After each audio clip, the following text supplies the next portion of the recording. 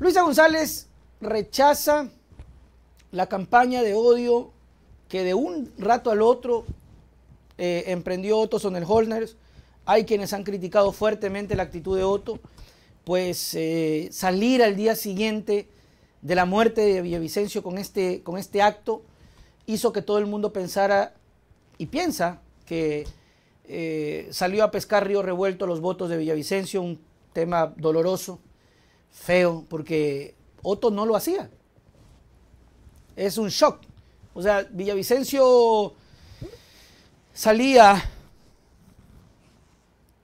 a denunciar a Correa, no era novedad. O sea, no era novedad. Era, hacer, era la bandera de Villavicencio. Villavicencio era anticorreísta, lo decía de frente, no nos causaba novedad. Siempre dije que, que apalancar campañas en base al odio no hace bien.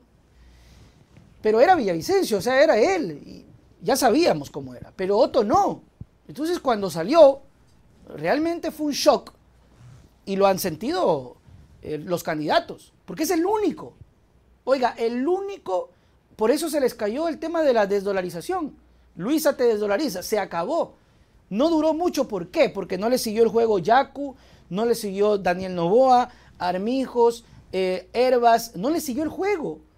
Entonces cuando ellos sacaron el tema en esa semana de Luisa te desdolariza, se quedaron así. Yo me imagino que los candidatos han de haber dicho, ¿y este loco? ¿De, dónde se eso? Si lo que dijo Arauz es otra cosa, o sea, y este man después, ¡pac! que sí queda la dolarización, y ya no le siguieron el dúo, pues. Porque usted no escuchó a Herbas dándole palo por el tema de la dolarización. Usted no escuchó a Yaku. Usted no escuchó a, Topic dándole con el tema de la dolarización. Porque pensantes, inteligentes, viendo la respuesta de Arauz, se dieron cuenta que era mentira, pues. Entonces, si tú vienes y dices que quieres hacer una campaña diferente y caes en la mentira, cuando ya ves que el candidato dijo, oye, es mentira, se me cargan porque creen que soy bobo, que soy lelo, que no sé qué, que no sé cuánto, y te me estás cargando por eso, te hace feo a ti que a mí. Por eso es que el resto ya no siguió y se les cayó. Se les cayó esa campaña. No, no, no. A menos que salga el domingo otra vez alguna de esas frasecitas idiotas. Pasó. Tremenda situación con Villavicencio. Lamentable situación la de Villavicencio. Nunca que pase esto a nadie. La gente a veces cree que uno habla como la persona que me escribió y dice, usted le hace daño, pobrecito Otto. Y hasta me dijo, usted será el culpable de lo que le pueda ocurrir a Otto.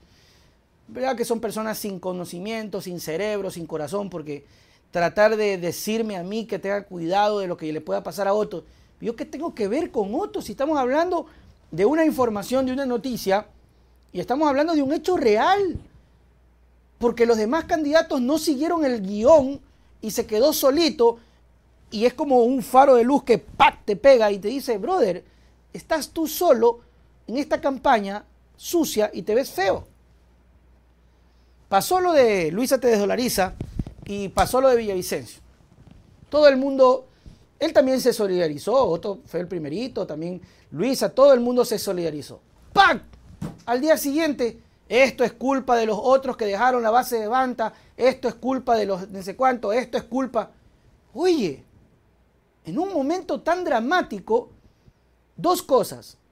Inculpaste a un grupo político sin prueba alguna. Porque para colmo luego Otto dice, no me consta, pero háganse cargo. A ver, ¿cómo, cómo, cómo? No te consta, pero se, hagan, se hacen cargo dices que la RC, porque básicamente eso dijo, ¿no? Esto es culpa de quienes sacaron la base de Manta. ¿Quién sacó la base de Manta? Correa. No nos vamos a hacer los locos, alguien me pero si, pero si él nunca nombra a Correa, por favor. Por favor. No hace falta nombrar a Correa, pues solamente dice los, de la década ganada, los de la, los de la década perdida, los, los que sacaron la base de Manta, los que hicieron la pacificación con los, las pandillas. Por favor, o sea, sí hago la invitación para que por lo menos digan con nombre y apellido para que no existan estos impases. Pero no están hablando de Moreno. O sea, el señor participó en el gobierno de Moreno, Moreno nunca sacó la base de Manta, aunque participó en el gobierno de Correa. Qué ironía, ¿no? critica a quienes sacaron la base de Manta. Moreno era parte de la Revolución Ciudadana en esa época, era vicepresidente, y él fue vicepresidente de Moreno. Hay que un poquito, eh, y hay que hacerse responsable, ¿no? Y ve, ahí nos hizo responsable. Ahorita, ahorita caí en cuenta que Otto le echa la culpa a Correa, y en esa época el vicepresidente era Moreno, y luego terminó siendo vicepresidente de Moreno. Bueno, en todo caso, eh, para que los troles voten por las 5, para que ahora sí puedan culpar a Correa, dice Gabriel Naranjo. Claro, yo diría que por eso también, ese también es un voto útil, ¿no? Yo, yo, yo, yo pensaría así. Si yo fuera de esa gente que no sé por quién votar y me calienta la política, tanto le echa la culpa a Correa, ahora le voy a dar el voto a Correa para que como le culpan de todo, me lo solucione. Ya está. Para la gente que no sabe por quién votar. Sí, pues. No hay que Correa es culpable de todo en esta vida.